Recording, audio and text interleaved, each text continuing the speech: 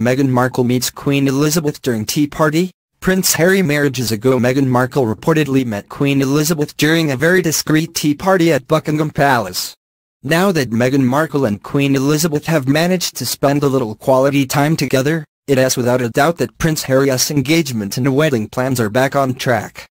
Prince Harry knew that he had to get his grandmother's approval before asking Meghan Markle the all-important question.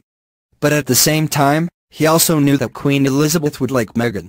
She has so far proven that she has what it takes to be a future princess, she is well-spoken, compassionate about her charity work, and she is also determined to make the world a better place. The way Prince Harry sees it, Meghan is going to be a huge asset to the British royal family. Then again, many royal observers are surprised that it has taken Prince Harry this long to arrange a meeting between his girlfriend and his grandmother. Harry and Meghan have been dating for well over a year now but he hasn't he made any moves that indicate he is ready to propose to Meghan. For Harry, he don't he want to make any mistakes.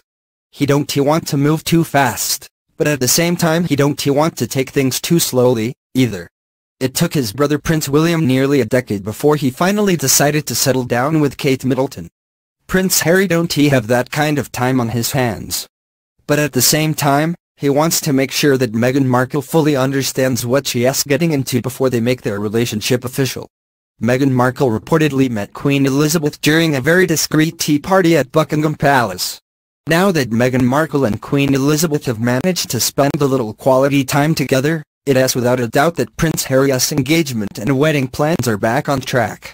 Prince Harry knew that he had to get his grandmother's approval before asking Meghan Markle the all-important question.